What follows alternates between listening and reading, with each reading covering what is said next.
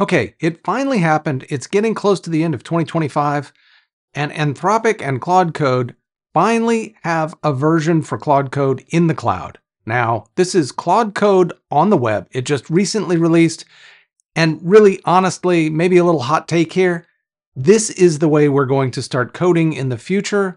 It absolutely is the way to scale yourself I really want to dive in and tell you what's special about this. It's very similar to the other cloud coding environments right now, maybe a little bit more ergonomic in some places, but really the same value proposition exists that this absolutely is the way to scale ourselves and to decouple ourselves from the interactive mode of coding. But look, I'm getting ahead of myself. Let's dive in to take a look very briefly at what they announced, what Claude Code actually is doing in the web or what that's all about. And then we'll go through a couple uses of it so that you can see a couple different patterns on how you might use it. It's really great. I cannot advise it enough, and it's already part of your subscription as long as you're paying. Let's take a look. All right, everybody maybe knows about Claude Code CLI. This is really the 150 pound gorilla, 300 pound, 600 pound gorilla, 900 pound gorilla in the corner of the room. However big the gorilla has to be to be impressive, that's how big Claude Code is. Codex is really its closest competitor from OpenAI, and they're both very, very solid, but Claude Code still wins in the ergonomic department, and with their recent 4.5 model, it really is cutting edge, really right there with Codex. However, Codex has had some things that really make it a little bit more attractive. So the next thing that Anthropic released in the Claude Code universe here was the extension, and this is the way to use Claude Code directly in a Visual Studio Code, whether it's Cursor, VSC, or Windsurf, those kinds of things. You can pull a panel out from the side and be able to use Claude Code directly while you're using one of these IDEs. That helps a ton so that you can really still see the files and have an actual IDE in front of you while you have really best-in-class kind of coding experience. Then the one thing that was remaining that they were really missing and really I missed quite a bit, and it was a reason that I was using Codex more than Claude these days, is what they just announced, which is Claude Code Web. So this is really, in all three of these cases, the same engine. It's Claude Code behind the scenes, and it really is just where it's positioned and how you're using it. That's all that really is different. The value proposition here, though, is massive. Claude Code Web gives you a website, which we'll see in just a second, that you can put in the same kind of questions that you might ask to the CLI or to the extension itself. And it allows you to just kind of put in a request, choose a repository, let it go off and cook. Okay, first looking at how we might use Claude Code, the CLI itself. Basically, it's us and Claude Code working together in an interactive way. When we talk about the cloud operation, it really is in the cloud itself is where you put the request. That system iterates with itself without you involved.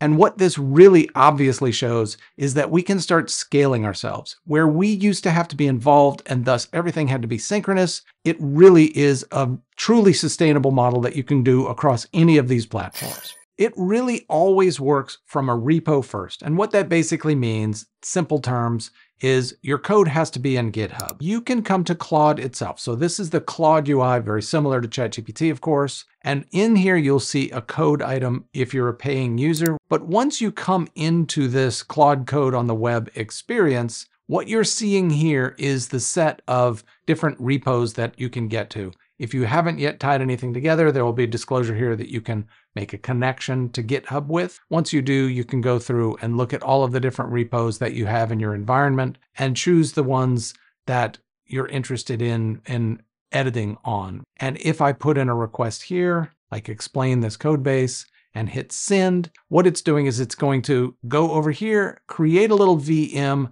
that it then checks out the code base into and then performs this. Really, all it's doing back there is running Claude Code itself. So there's like an instance of Claude Code that this submission was sent into. Okay, and while we're at it, let me show you that this, of course, also works on mobile. Really, any web browser you can start doing this on. The mobile application, you can do it as well, but just pulling up the mobile website for Claude will allow you to go to the same experience, and we can now see the thing that is running in the previous tab. If we go into this session, you'll see the output here that we're seeing here. So basically it's the same experience. If on your mobile device, you actually want to create new requests in the exact same way. You just fire off request after request. And this is really that way that I was talking about. We're going to be able to scale ourselves. As you're walking around with your mobile device or sitting around your house and you think, oh, you know what I would like to try, you can you really fire off, submit new requests again and again uh, against your different applications. And what I will say, one of the fascinating things that I've done myself is really this gives me the opportunity to just play around. Sometimes I'll just fire off a very strange request, kind of saying, I don't know, try to do, I, in fact, I did one you'll see a little bit later, do something with animal emojis just for fun. It was really a, a, silly idea, and I've decided to leave it in the production system. So, really, you can start asking for odd things that maybe will generate new ideas for you. Whereas, if you had to do it yourself, your time when you're synchronous that way and you're kind of the interactive mode that we were talking about, you're less likely to just take a complete time period to explore something that you think is a dead end. And this allows me to kind of explore things and really play with different ideas. If we go into this thing here, you'll notice down at the bottom, we can just have a conversation like we normally would in Claude itself or in the CLI. All of that can be done here. So it feels a little bit more like the Claude code experience that you get at your desktop, really at your fingertips, at your fingertips, wherever you are.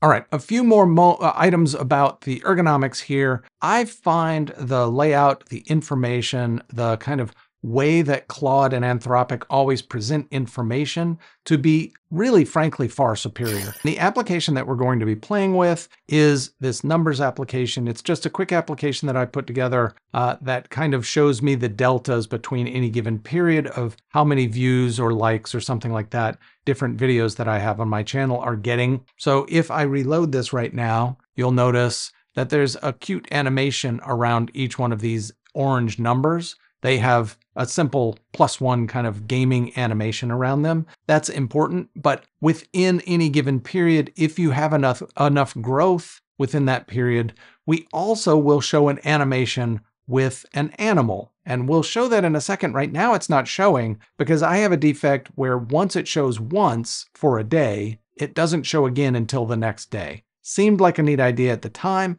but in reality, as I move between channels or I move between periods, I still want that animation because, let's be honest, animal make feel good.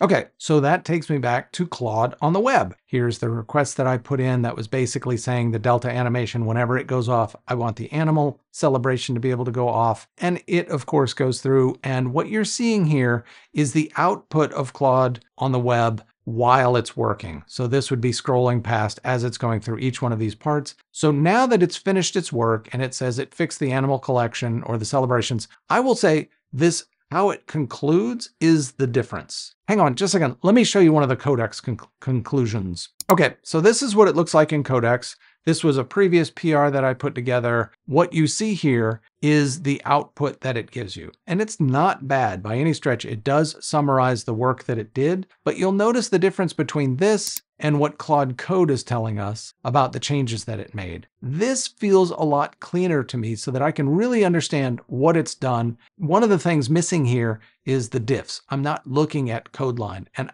that's okay with me because what this has done is created an actual PR. Unlike what they're doing over here on Codex, they are not creating a PR and you have the opportunity to go create a PR or a branch. It leaves it here within their environment. And I really appreciate what Claude's doing. So let's talk about this branching stuff because this is where it gets a little bit complicated. It's definitely not hard. They're following standard practices, but anybody that starts thinking, okay, I'm going to start using one of these cloud editing agents, uh, that really is the one thing you have to start learning how to deal with. It's the moment you'll need to understand what a branch is and how to deal with it in GitHub. I'm not going to go through all that. I've done that in a pre previous video to talk at kind of at length about the Git flow environment. But what I will say is it creates a branch whenever it does its work and then you can create a PR if you like. These are two separate things. That's the only complexity that I'll describe here. So if I want to open this in CLI, you'll see it copied it to the clipboard. If I paste it here, you can see it's a Claude command. Now, what that means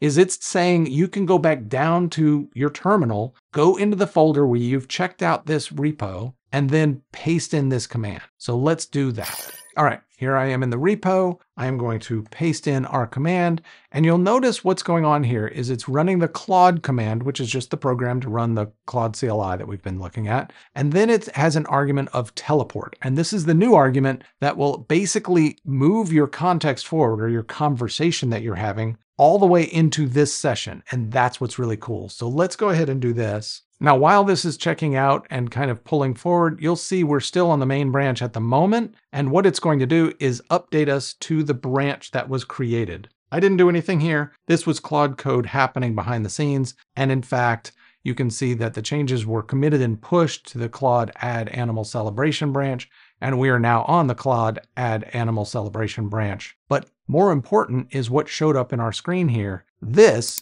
is this conversation. So it brought the entire context down. Now, this is really cool. At this point, if I continue having this conversation now and continue editing, it's as if I was up in the cloud. I have everything that it did. All of that awareness comes with it so that I don't have to kind of say, well, this branch, we just did this one thing. And you mentioned that there was a problem or there was a defect or I have to copy and paste from one to the other. They really solved this. It's a fascinating pattern that they're implementing here. I really like it. I think it's very interesting, but there's one nuance to it that I want to show you. Let's try to ask this conversation that we're in to update the README file. Stats UI. Okay, so I've run into this a couple times, and I think it's a defect that they're having right now, not temporary. I have a feeling the way this sharing of this context, the sharing of this information works doesn't always work correctly. So I have a feeling something in this conversation in the context it pulled down actually doesn't work properly when I try to reuse it here. I don't know what it is. I don't know necessarily how to fix it. They do say use the rewind, but really the rewind feature here would allow you to kind of move through the different parts of the conversation.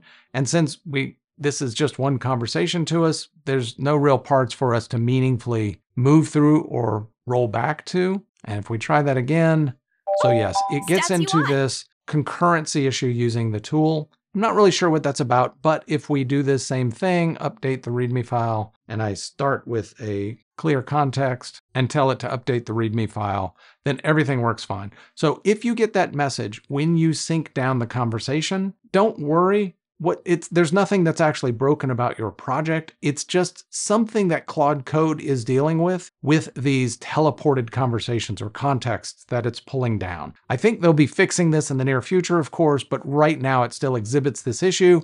It works perfectly fine if you just clear your context and continue on from there. Uh, but it is a little irritating. What's really important to understand here is you make changes in the cloud up here. And once you make changes in the cloud, they are automatically being stored on the repo itself as a branch. You can do anything else at that point you want. There is no more process that you have to deal with. But if you make changes down here, let's say, yes, we want to continue this change. Okay, so now we have changes local. All I'll do is create a quick commit message and then commit that change file and then publish this same branch that we're on. So really what we've done is we made a change in the cloud. It automatically created a branch, pushed that into GitHub, even though we hadn't asked it. Now we went down onto our control server, into like our computer into our terminal environment or cursor or any other system, pulled that branch. We happen to use that teleport command, but it would be perfectly fine just to pull the branch and start working.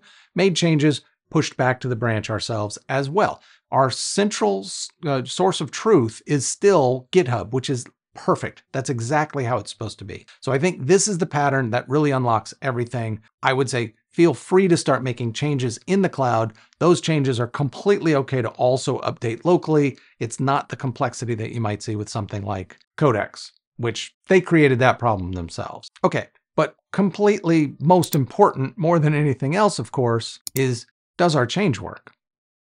Hey, our change works. Lion celebrates. Great work. Thanks for watching, everybody. Hey, by the way, I have a lot of other videos. You should subscribe. There's only like 15% of you that subscribe. I would love to have you around here. Just saying. Okay, so one last test here is I've made changes down on our computer and we've pushed them back up to the branch. Now, I can keep going here in Claude Code in the cloud if I want, Claude Web, whatever. Sorry. Uh, but I think what the best practice would be is to tell it, please update the branch from GitHub because we think things have changed. Let's take a look and see if it actually first pulls the information. Really, just the README was changed there, but let's see if it pulls it and starts working. Otherwise, we're going to have some contention when we have this guy try to push his changes up after he's finished making those changes. Okay, and there it is. The first thing on its list is pull latest changes from GitHub. So perfect. Congratulations, Claude Code. This is exactly what I would expect. Okay, so I like these changes. Let's finish it up. It's super easy from here. So I'm going to hit the create PR button. This takes me over to uh, GitHub itself. This repo is just for me, so I can kind of be a little bit messy there, uh, but it also can merge in immediately. Once I merge this, I will delete the branch. And so in the end, this will now push to production for me because of the CI/CD that I've talked about in the past. And most of it, if not all of it, depending upon the changes that you do, were done on a web browser, maybe on a mobile device. I can do a lot of things with the right test cases on a mobile device these days. That's kind of fascinating. Okay, so that's a whirlwind version of how you might use this uh, and some patterns going forward. Look, I cannot describe enough. I really believe you should dip your toe at least into trying to use some of these cloud development systems if your environment allows for it. So most projects you can probably do a little bit of meaningful work this way. Some projects you really are going to have to build stuff locally and do so much locally that trying to do it in the cloud could just get painful. But I really advise giving this a shot. It it really will be the way that we code starting soon, if not next year, um, much sooner than that. I really believe that this is the answer for development at the first stages in most cases is fire off five or six big changes, let them go do their thing, deal with the merging and the approval of it after the fact. And that way we can start scaling and par- parallelizing the work that we're doing and collapsing our timescales quite a bit. We do have to pay for it on the other end where you have to deal with those merges. There's still real manual work here. You will still need to evaluate it and figure out what you actually wanted from it. So this is not a the the system is going to take over. It's going to make everything free but it absolutely can scale you in a way that you've never seen before. So i cannot advise it enough. Great work anthropic. This really was a great first attempt at this first pass at this. And hey by the way if anybody else is paying attention this came out fast. This is something that i think ai helped build not surprisingly because we are seeing turnover on these companies really releasing major things again and again very quickly, and they're in really good shape when they do. We saw one little defect where we couldn't share that session every single time, and that's it. That's the only thing I've seen so far. So great work, very exciting. Um, I hope you learned something from this. Thanks for coming along for the ride on this one, and I'll see you in the next one.